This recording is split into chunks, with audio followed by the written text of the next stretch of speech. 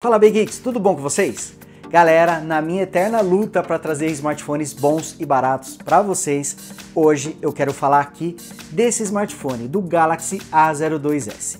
A gente já sabe que tivemos aí o lançamento recente do Galaxy A03s, inclusive os dois aparelhos já tem unboxing, já tem review, talvez até no futuro surja um comparativo entre esses dois smartphones. Mas a ideia que se tem é que o Galaxy A02s já foi lançado há muito tempo, já que temos o Galaxy A03s. E não é bem assim. O Galaxy A02s foi lançado em março desse ano. Acontece que a Samsung foi meio precipitada em já trazer o sucessor, o Galaxy A03s. E o curioso é que os dois aparelhos não são tão diferentes assim. Eles trazem basicamente a mesma tela, a mesma bateria, são muito parecidos, mas o Galaxy A03s traz algumas vantagens, como mais memória RAM, mais armazenamento, vem com sensor digitais, que é um recurso que eu acho bastante importante. Porém, o Galaxy A02s é um smartphone muito bom e também bastante barato atualmente. Dependendo do momento, já que o preço do smartphone está sempre oscilando, às vezes está mais barato, às vezes está mais caro. Então, dependendo do momento, é possível encontrar esse aparelho até por 699 reais. Já vi o A02s por esse preço. Atualmente, no momento que eu estou gravando esse vídeo, o aparelho está saindo. O melhor preço que eu achei foi por 750 reais. Ainda assim, muito bom e bem abaixo do Galaxy A03s, que também é um smartphone barato, mas custa pelo menos 150 reais a mais do que o Galaxy A02s. E ainda assim, o A02s traz algumas vantagens, como o seu chipset. Mas tem a questão do armazenamento, a memória nem é um problema, mas o armazenamento pode ser um fator aí que pode complicar a vida de quem comprar um Galaxy A02s. Mas tudo isso eu vou falar aqui nesse vídeo. Só que antes, chegou o momento de você já ir deixando o like, não deixa para depois. Clica no botão do like agora para ajudar o canal do Brasil Geeks a continuar crescendo. E você que ainda não é inscrito, aproveita também para se inscrever, ative o sininho para receber as notificações dos novos vídeos e torne-se Geek você também.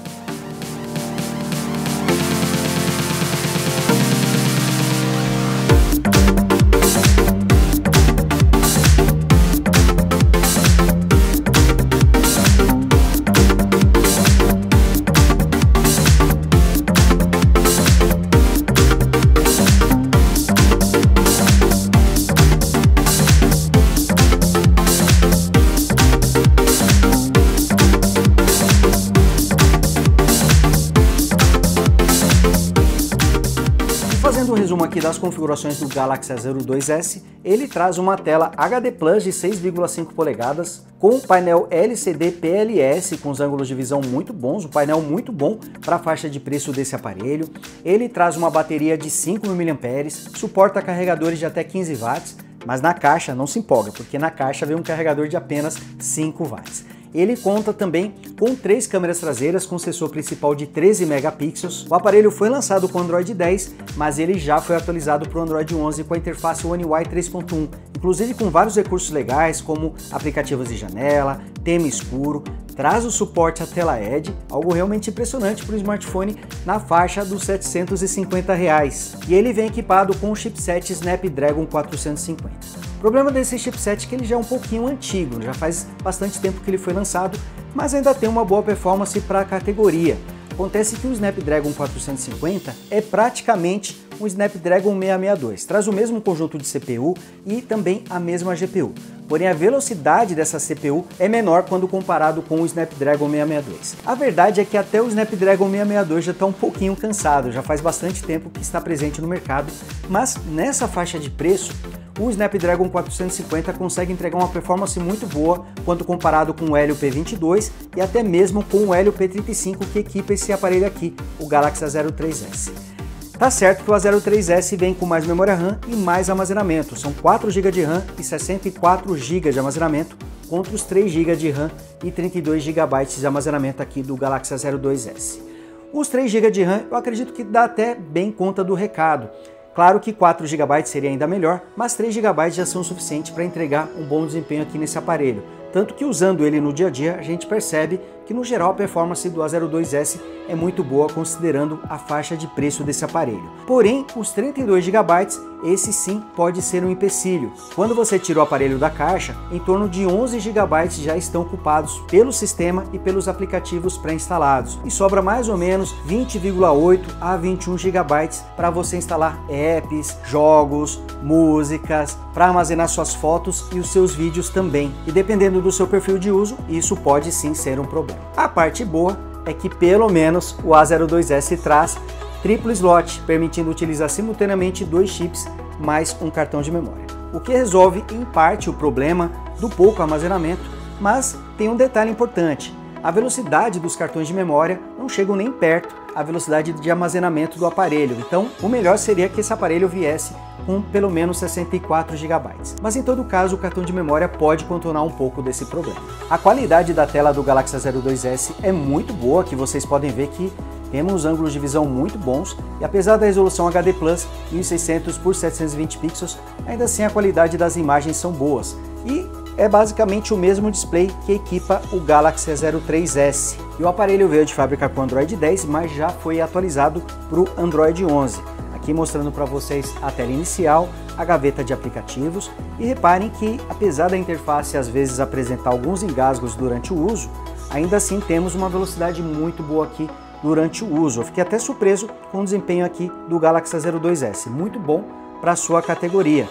Aqui abrindo o Gmail, ó, vamos testar a rolagem, ó. quando você abre o Gmail ele dá uma engasgada aqui na abertura do aplicativo, mas depois que é aberto a velocidade aqui da interface fica muito boa. Deixa eu abrir outro app, aqui com o Chrome aberto e com o site do Brasile Geeks. Olha só, aqui vocês podem ver a velocidade da rolagem da interface e também o zoom, que costuma ser muito bom. Deixa eu abrir também o aplicativo do YouTube. Então temos aqui uma boa velocidade de abertura dos aplicativos, também na rolagem da interface.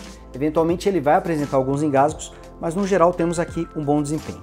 E aqui mostrando também a multitarefa, aqui fazendo a transição entre os aplicativos. O legal é que essa interface está bem completa, tem recursos que antigamente só existiam em smartphones mais tops da Samsung, como por exemplo a janela pop-up, olha que legal, ela está presente, inclusive está com uma boa velocidade, permite aqui redimensionar o aplicativo, dá para você minimizar para usar depois. Ele também conta com o modo de tela dividida para você usar dois aplicativos aqui simultaneamente. Dá para você redimensionar o tamanho da janela e é possível até mesmo você salvar na tela Edge para poder utilizar futuramente. E olha que legal, agora ele também fica na multitarefa para você abrir depois o app. Então a One UI 3.1, apesar dela não ser tão complexa quanto os smartphones mais tops, traz a maioria dos recursos mais populares aqui.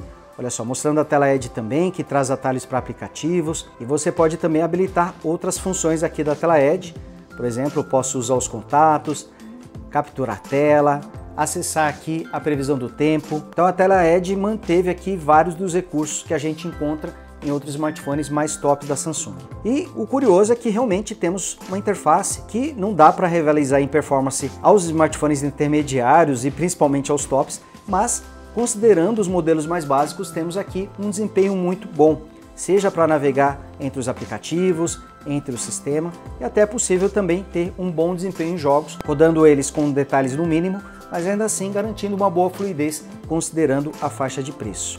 E aqui também temos o suporte ao tema escuro, que vai deixar a interface e também os aplicativos compatíveis com o tema escuro. Então vocês viram aqui que apesar dos 3 GB de memória RAM, temos uma performance boa aqui no Galaxy Z02S o Snapdragon 450 é uma boa opção nessa categoria, já que a maioria dos smartphones nessa faixa de preço usam o Helio P22 ou o Helio P35.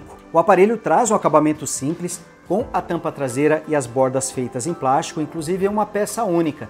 Mas ainda assim, os detalhes são bonitos. Reparem que a Samsung usou um grafismo diferente aqui no Galaxy A02s e no geral acho um aparelho bastante bonito. Outro ponto positivo é a sua bateria que tem 5.000 mAh, uma excelente capacidade e ela pode durar até dois dias dependendo do seu perfil de uso. Outra coisa legal é que esse aparelho traz aqui já a conexão USB tipo C, algo que nem sempre está presente em aparelhos mais baratos. Ele ainda conta também com a entrada para fone de ouvido. O áudio é mono, o alto-falante fica aqui na parte inferior.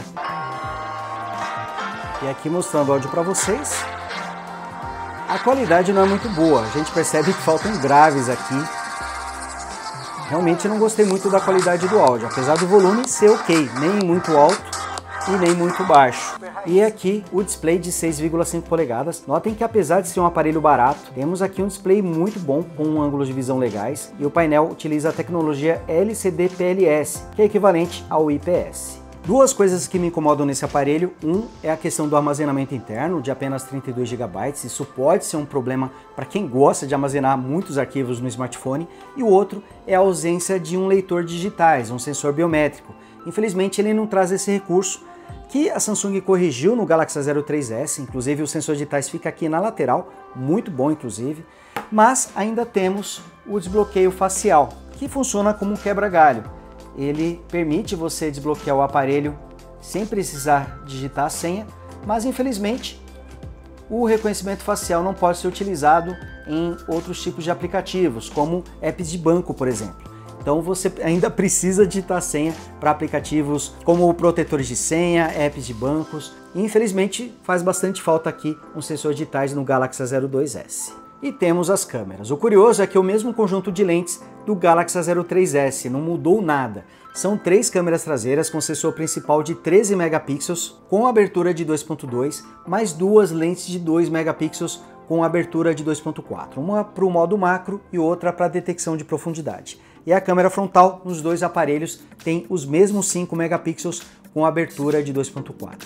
Câmera frontal é bastante simples, a câmera traseira até consegue trazer bons resultados. E considerando a faixa de preço desse aparelho, ela até que é boa. Não traz suporte a modo noturno, não tem estabilização de imagem para as gravações, mas consegue entregar bons resultados considerando a faixa de preço. Tá certo que quem vai comprar um smartphone mais barato, como o Galaxy A02s, tem que entender que existe uma certa limitação na performance, nas câmeras, então não espere o melhor resultado possível aí para fotos e vídeos ou para gameplay de jogos. Mas isso não significa que não dê para usar o Galaxy A02s para tirar fotos, para fazer vídeos ou até mesmo para jogar. Bom, galera, e vale a pena comprar o Galaxy A02s? Por esse preço atual, acho que é uma ótima opção. É difícil você encontrar bons aparelhos nessa faixa de preço abaixo dos 800 reais. Se procurar bem, dá para encontrar alguma promoção. Um exemplo é o Moto E7 Plus, é um smartphone que eu sempre cito aqui no canal entre os aparelhos mais baratos, porque traz uma performance muito boa, câmera com modo noturno, bateria grande. Então o Moto E7 Plus é uma opção entre os smartphones baratos. Mas nessa faixa de preço aqui do Galaxy A02s é realmente difícil encontrar boas opções. Então, apesar desse aparelho trazer algumas deficiências, acredito que a maior delas seja o armazenamento de 32 GB e também a falta de um sensor digitais. Apesar desses pontos, é uma opção de compra, principalmente com seu preço atual, na faixa dos 750 reais, onde é difícil ter um smartphone bom que consiga batê-lo. E se procurar com bastante paciência, é possível até encontrá-lo aí em alguma promoção por 699 reais. Foi o menor preço que eu encontrei o Galaxy A02s. Ainda assim, é um aparelho bastante atual, já que ele foi lançado em março de 2021. Ah, mas um problema que eu lembrei é que ele veio com o Android 10 e já queimou uma atualização para o Android 11. Então, é difícil saber se ele será atualizado para a próxima versão do Android, o Android 12, enquanto que isso é bem possível no Galaxy A03s, que já veio de fábrica com o Android 11. Então acredito que o A03s seja atualizado, mas é difícil saber se o A02s também será atualizado. Mas resumindo, se cada real importa para você, se faz diferença pagar 10, 20 ou 100 reais a mais por um smartphone e você está procurando a melhor opção pelo menor preço possível, fique de olho aqui no Galaxy A02s. Ele já está com um bom preço atualmente, mas talvez aí no futuro até ele fique com preços ainda mais em conta. Então é um aparelho para você ficar de olho. Então é isso, galera. vou ficando por aqui. Espero que vocês tenham curtido esse vídeo. Não esqueça de deixar o seu like e você que ainda não é inscrito, se inscreva e torne-se Big Geek você também. Grande abraço e até o próximo vídeo. Fui!